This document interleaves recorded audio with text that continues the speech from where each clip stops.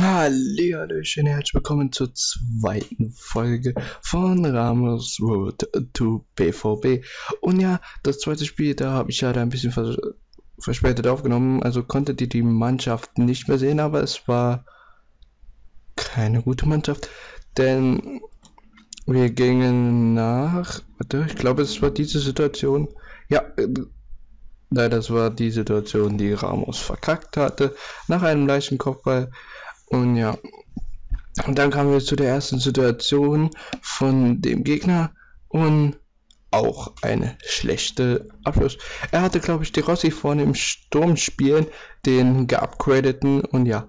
Dann sehen wir hier mal Mason allein auf Tor zu laufen, schließt ab und dann folgt daraus ein Eckball, den wir auch noch zeigen werden. Und ja, also mir die Wiederholung, schöne äh, Schuss.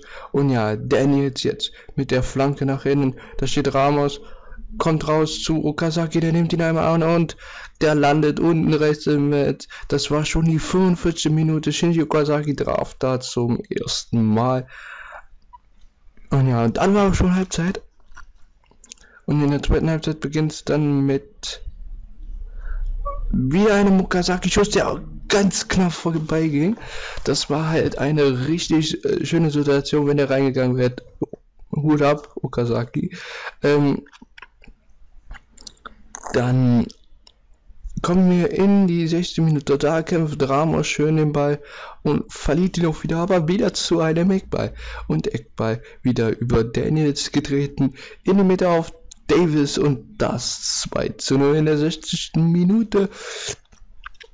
Ja, ähm, hier seht ihr wieder die Wiederholung und dann kam er zu einer Situation, wo es hinten erstmal ein Getümmel gab von ihm, der dann jetzt äh, Konter über Rossi läuft. Ähm, da ein Foul, ein ich würde jetzt nicht behaupten, dass es ein Foul war von Clark, aber der Schiedsrichter bewertet es als ein Foul, gab ihm die gelbe Karte und ja, hier kommt jetzt der Elfmeter von José Carlos geschossen. Ähm, das war schon in der 81. Minute.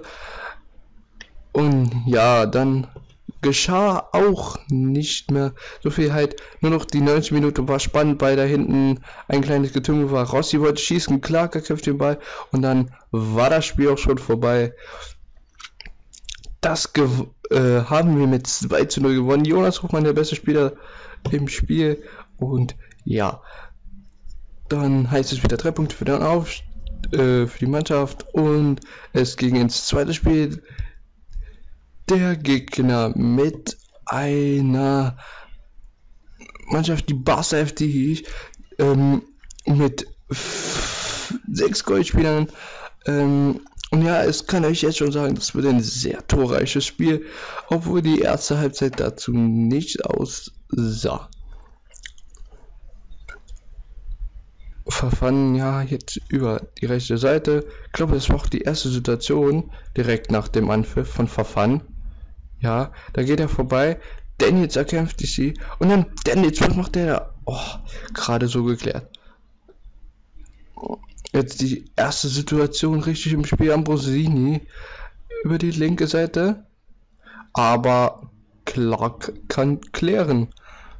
Die Ecke, die darauf folgt, ist von Dante nicht ernst nehmen, aber dann, oh, was eine Situation von unserem Torhüter.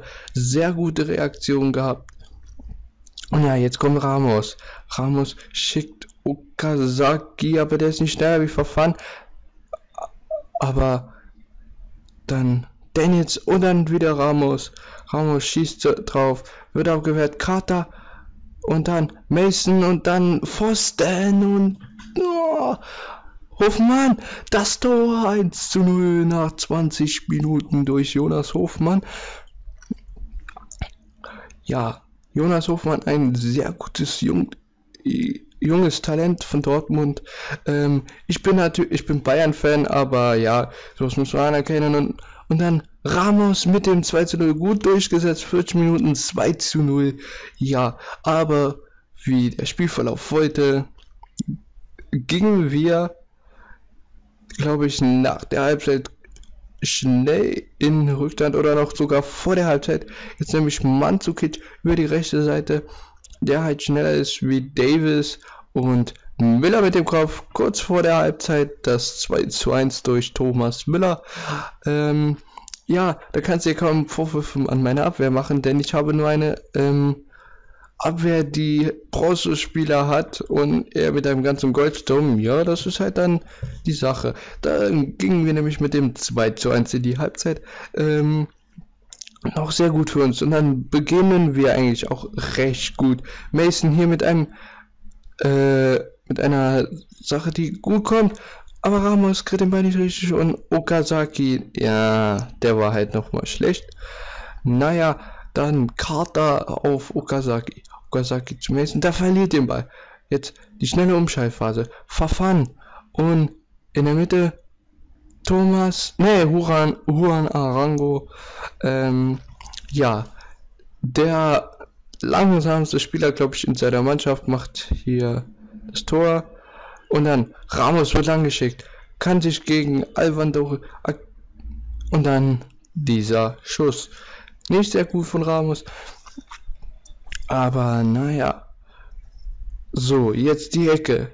Da kommt Kater an den Ball, nicht Kater, sondern Mansukic und das 13 2 in der 72 Minute. Direkt nach dem Anschluss geht es weiter für den Gegner. Juan Arango geht an unserem Jonas Hoffmann vorbei. Ähm, und dann kam die Flanke perfekt für Manzukic, der dann das 5, äh, 4 zu 2 machte. Und Valentini jetzt über die linke Seite, Manzukic das 5 zu 2, Manzukic ein Kopfballkönig, keine Ahnung, ich weiß nicht, wie man so OP sein kann in FIFA mit den Kopfballen.